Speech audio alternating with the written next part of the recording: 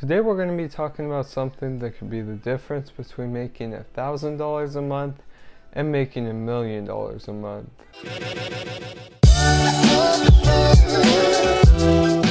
Branding is the best way to take a step up as a dropshipper.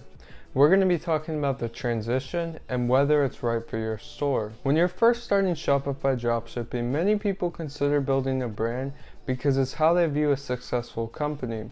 The difference between a brand and a store is that a brand focuses on building a following instead of just immediately getting sales.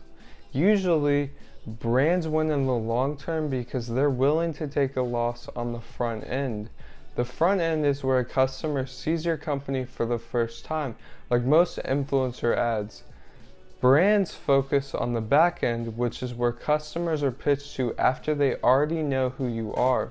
This is done through social media posts, email marketing, and much more.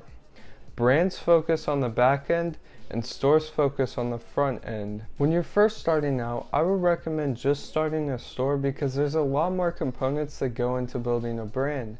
If you do opt to start a brand, expect to spend more money before you get your first sales. In my opinion, my end game for my store is building a brand. My end game is having so many social media followers and so many people on my email list that I can just throw out a little announcement and make hundreds or thousands of sales without spending any money on advertising. Some people's end games is where they have 10 stable winning products on Facebook that each bring them $10,000 a day. And that's fine, but that probably means you're building a store. Branding is all about your reputation and buying experience. One thing you may want to consider as a brand is US shipping.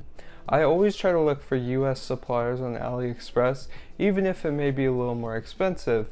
One thing I'm also looking into is US based fulfillment warehouses, and basically, that's where you ship a bunch of products to a warehouse, and then whenever you get an order, you tell them where to ship it.